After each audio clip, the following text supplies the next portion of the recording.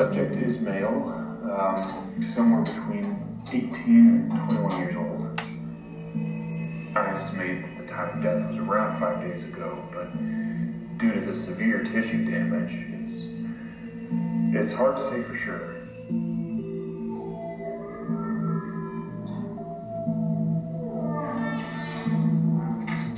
The Cause of death was likely malnutrition. I was able to recover most of the digestive tract.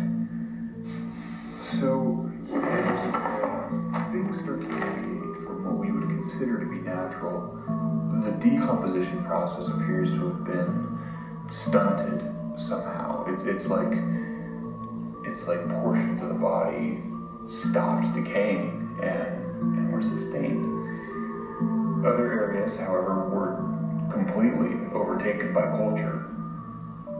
So, um, I took uh, samples of some material here. At first, I, I thought it was a, an aggregated collection of Pseudomonas fluorescens, but uh, it seems to be closer to a mutated strain of simple Bacillus,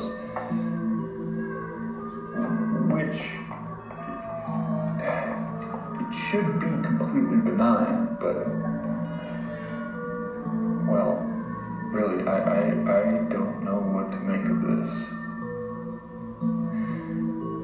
Mr. Beck, may I ask uh, where this subject came from?